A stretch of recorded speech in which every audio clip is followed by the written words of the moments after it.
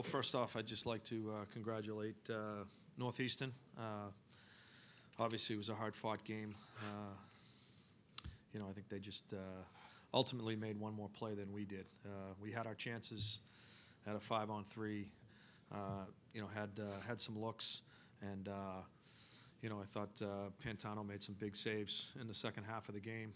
And, you know, our guys, our guys, I thought our execution wasn't great, uh, both on the six on four and the on, and on the five on three, and and ultimately there, uh, you know, we need to get a goal.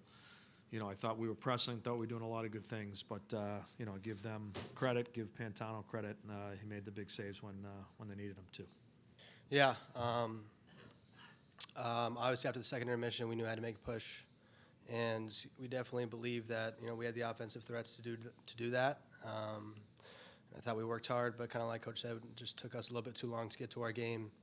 Um, and you know, we did have some great chances, and you know, sure we we definitely wanted one, but um, you know, we thought you goaltender played really well, and um, sometimes in these tight games and these big moments, they're they're just little inches that kind of can make the difference, and um, we just came up on the wrong end today.